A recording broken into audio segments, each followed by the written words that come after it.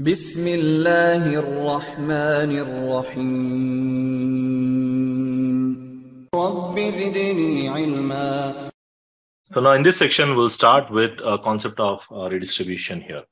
So first we'll see what is redistribution, and then we'll see the different protocols uh, where we can configure the redistribution and what are the scenarios. Now, what is redistribution? Redistribution is a method of exchanging the routes between two or more different routing protocols. So like if you take an example, we do have a specific network and these are the set of routers company abc let's say so this uh, organization is already running ospf protocol or eigrp protocol some kind of protocol routing protocol and they are able to exchange the routes. So they are connecting to each other and they're able to exchange the routes. Likewise let's say you got another organization xyz or maybe a few other sites. We do have these routers. Also they are running some kind of routing protocol. Let's say they are running eigrp protocol. So maybe uh, you are running two different routing protocols in a common production scenario Uh, maybe you, the, the scenario can be you have two different organizations let's say abc they merged into one organization and overnight changing the routing protocol from ospf to eigrp or, or com- moving on to the common protocol is not possible now, without changing the routing protocol, you may want to make sure that the OSPF routes should be exchanged or get converted into EIGRP. Because by default, the OSPF routes, EIGRP will not understand. And likewise, the EIGRP routes, OSPF will not understand. So we need one router. So we'll be configuring one kind of router here. Let's say autonomous system border router. That's what we call it as the border router now this border router is going to run OSPF on one of the interface, like we have, like we assume that we have an OSPF running on this side, which means all the OSPF routes will be received by this router.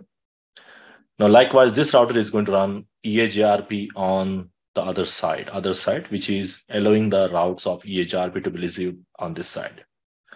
So this transit router, the middle router, we call this as autonomous system border router. This is more acting like a translator.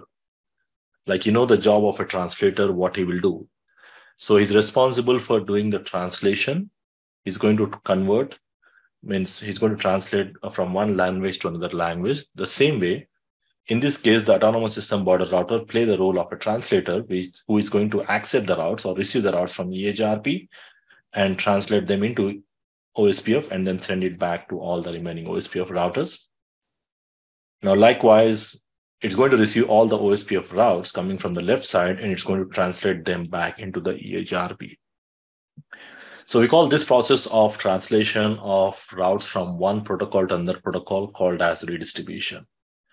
So the redistribution is a concept where we are we may come across a scenario where you might have multiple routing protocols configured due to multiple different reasons.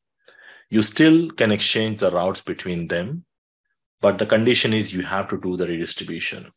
And this has to be done manually. So it's not going to be automated process. You have to make sure that the different protocols can exchange the routes with the help of redistribution.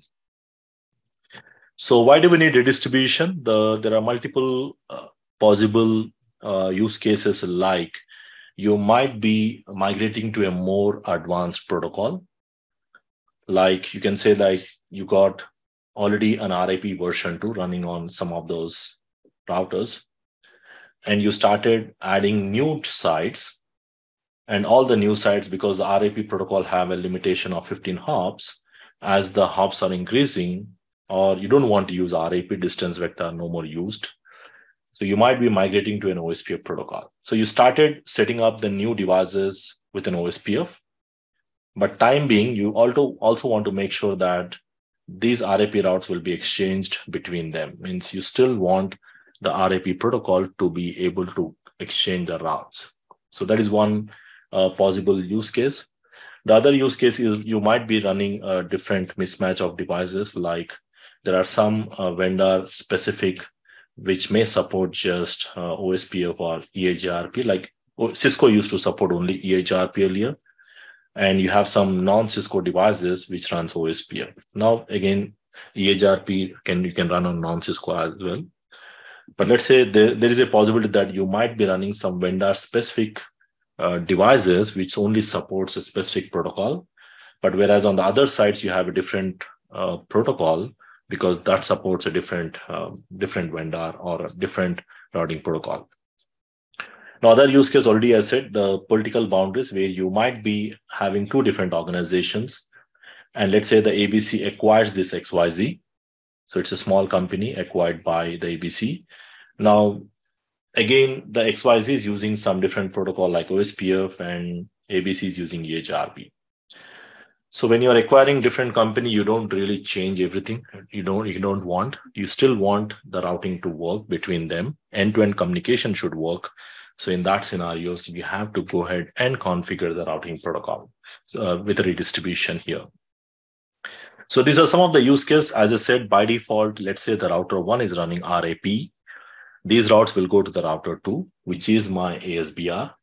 And by default, the router two is not going to send those routes back to router three. Now, the reason, the reason is simple, uh, because the router two to three is running EIGRP but I want to send those routes. So we need to configure, we need to go ahead and configure the redistribution. So what is redistribution? It's a process of exchanging the routing updates or the routing information between different routing protocols. Like, like after doing the redistribution, what will happen is your routes, which are configured as RIP, it will go to the border router, that is autonomous system border router as an RIP route and on the router 2, I'm going to configure the redistribution, which is going to convert or translate the routes into EIGRP. So the same 10 dot network or so the same subnets, whatever learned through RIP will be converted into EIGRP and send them as an EIGRP. So here we are just translating the routes from one protocol to another protocol to ensure we do have an end-to-end communication.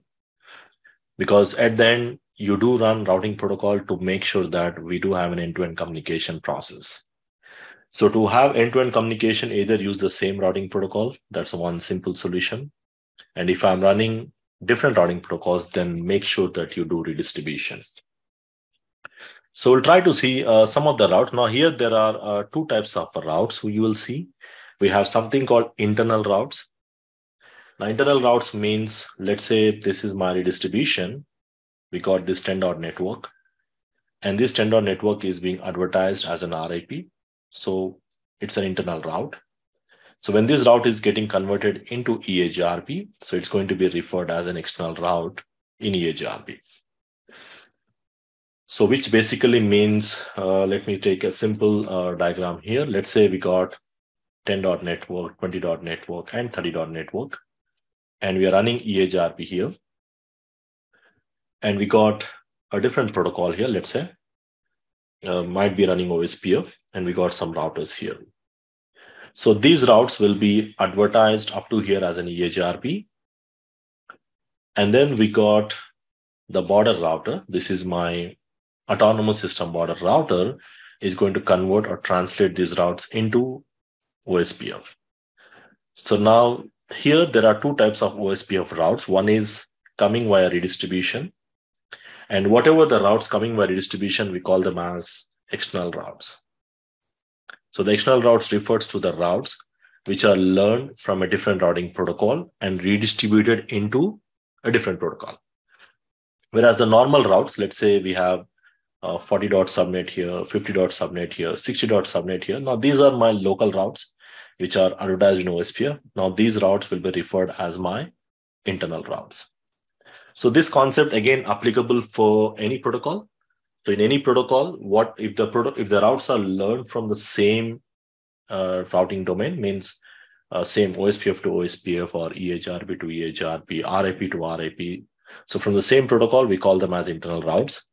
And if the routes are learned from a different protocol, like in this case, coming through EIGRP, and then redistributed into EIGRP. So in simple, redistributed routes are referred as external routes. So that's uh, kind of a terminology we use. We use a different terminology like internal versus external routes.